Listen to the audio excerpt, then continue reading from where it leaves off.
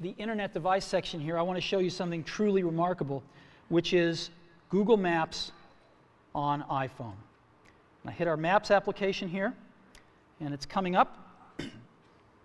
and it shows us North America, and I'm going to go to Moscone West. That's where we are right now. And here we are. Boom. That's where we are. Now, what I'm going to do is I'm going to go uh, look for something. I'm, I'm going to certainly want a cup of coffee afterwards, so I'm just going to look for Starbucks, right? Starbucks. So I'm going to search for Starbucks, and sure enough, there's all the Starbucks. Now,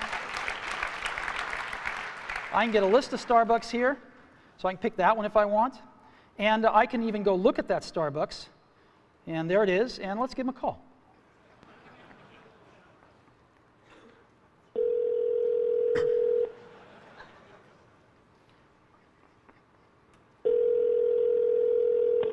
Good morning, Starbucks How uh, can I help you? Yes, I'd like to order 4,000 lattes to go, please. No, just kidding. Wrong number. Thank you. Bye bye. Okay.